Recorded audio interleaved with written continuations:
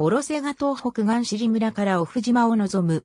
中央の山は、オフ島の貫いたお山で、狭い浅賀海峡を隔てて、手前がオロセガ島マヌア諸島は、アメリカ領サモアの島。タウ島、オフ島、オロセガ島の3島からなる。アメリカ領サモア首島のトゥトゥイラ島から東に 110km の地点に浮かぶ。3島合わせた面積は57平方キロメートル、人口2300人。マヌア諸島の人口は減少を続けている。1930年代にはアメリカ領サモアの20%の人口が住んでいたが、1980年代には6%まで減少していた。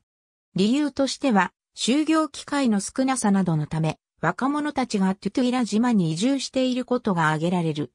マヌア諸島の伝統的な島は、タウ島にある、タウ村である。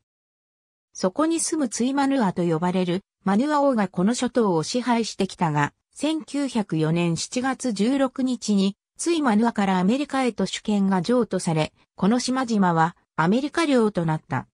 この譲渡は、1899年に開かれたベルリン会議において、マヌア諸島を含むサモア東部の支配権をアメリカに西部の支配権をドイツに認めたことを受けてのものだった。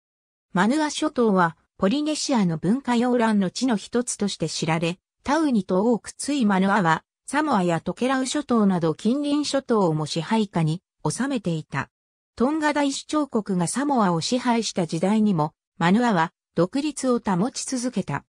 最後のツイマヌアであったツイマヌアエリサラが1909年7月2日に死去した後、ついマヌアの称号は空位となり、マヌア諸島の最高位はアメリカから派遣される知事へと移った。